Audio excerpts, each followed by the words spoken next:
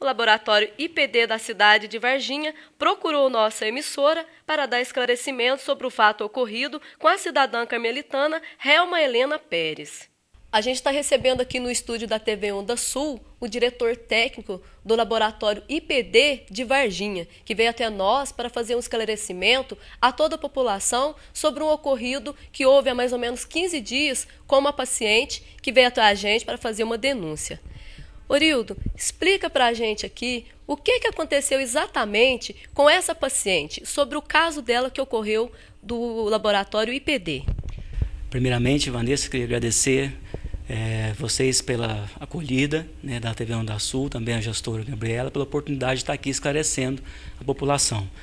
Bom, o caso da, da paciente em questão, é, ela fez uma citologia, que é um preventivo de câncer ginecológico, né, e o resultado veio de uma lesão precursora. Em nenhum momento o laboratório liberou o resultado de câncer, como ela colocou.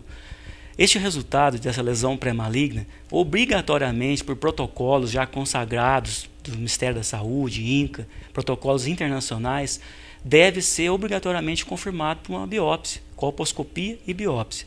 E, que, e foi o que ela fez. Ela foi submetida a uma biópsia que veio com ausência de câncer.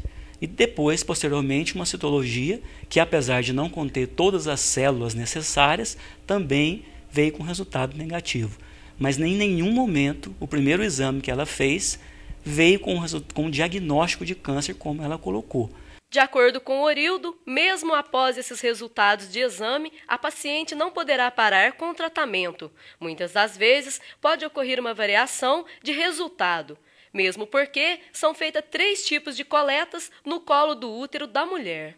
No caso dessa paciente, realmente ela tem que continuar é, a, é, tem que continuar esse tratamento, ela tem que continuar periodicamente realizando a citologia.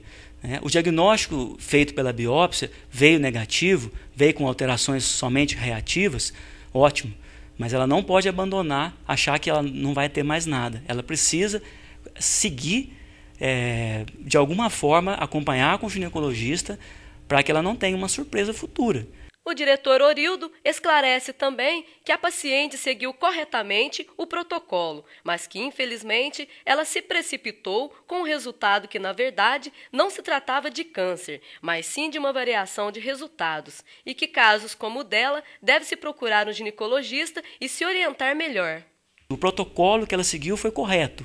O que não foi correto foi ela se auto-interpretar como câncer num, num exame de citologia, que é só o início do estudo para câncer de colo de útero.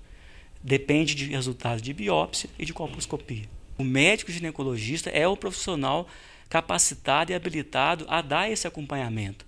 Ele vai seguir todos os protocolos internacionais, protocolos consagrados, e aí sim é, chegar no melhor caminho diagnóstico e tratamento, quando for o caso, e acompanhamento. Toda mulher não deve pegar seu resultado e ler e achar que tem isso ou aquilo. Ela deve levar no profissional capacitado para que ele sim possa analisar, avaliar, ver se é necessário exames complementares e aí sim dar essa tranquilidade para o paciente. Ela não precisaria ter passado porque ela passou. Nós entendemos a angústia dela, mas foi uma angústia desnecessária. O laboratório IPD está há mais de três décadas no mercado, prestando serviço para o SUS, com três sedes, sendo em Divinópolis, Alfenas e Varginha, e com uma equipe de profissionais preparados e capacitados na área. Nós trabalhamos com 158 cidades das regionais de Divinópolis, Alfenas e Varginha, há mais de 30 anos prestando serviço para o SUS, e nós temos uma equipe de citologistas e patologistas extremamente preparados, e todas as lâminas positivas são lidas pelo menos por mais três ou quatro profissionais. Toda mulher deve se cuidar fazendo o exame regularmente e anualmente. Na presença de qualquer sinal ou sintoma, é recomendado procurar um profissional de saúde para o diagnóstico correto e indicação do tratamento adequado.